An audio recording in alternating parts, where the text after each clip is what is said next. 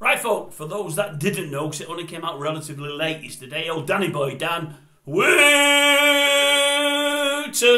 it's finally been confirmed that the Met are looking into accusations against old Danny Boy. It looked for two or three months like he was being heavily protected and shielded from the police and nothing was going to happen. He was hiding behind GB News and what have you. Well, that's obviously now been pulled away from him.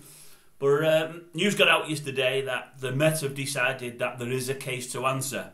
They said they were given initially 28 pages of accusations by Byline Times, which they were looking into.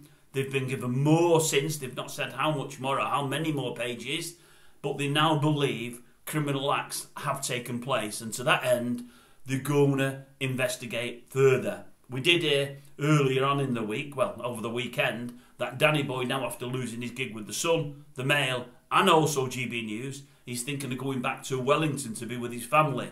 I would suggest he's trying to run off and hide from it all, but I wouldn't have thought New Zealand is a place where he can't be brought back from. Should he go over there and be found guilty over here, I'm sure that they'll be able to extradite absolutely no problem whatsoever. As I've said weeks and weeks and weeks ago when this broke, I believe of all of the um, should we call them celebrities that have been brought to uh, to book over the last few months, i.e. Schofield, Edwards, Brand, and himself. I think Wooton uh, has got many, many, many more cases to answer, uh, many more wrongdoings than probably all of them put together.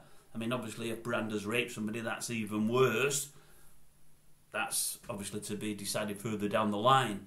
But the amount of uh, accusations against Wooton is just, they're just unbelievable. The amount is just crazy. Um, and, I, and I was concerned that he wasn't going to get brought to justice, but that does not now look to be the case. The police have opened a case file now. He's been actively pursued, and uh, they're going to look into it deeper and they're going to go after him, which is the way it should be. He's done a lot of wrongs. He's upset and hurt a lot of people and he doesn't deserve to get away with it. So anyway, that's where we're at with old Danny Boy at the moment. The police are now on the case. It'll move now. It probably won't move that quickly, but it'll move.